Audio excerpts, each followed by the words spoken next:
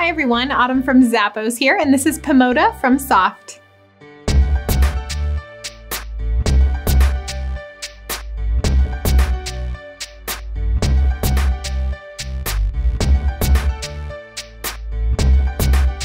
These fun heels have an Italian leather upper that shows off a little bit of metallic shine. You have an open toe. It's nice and stretchy on either side, but it also has a zipper in the back, so it's easy for on and off.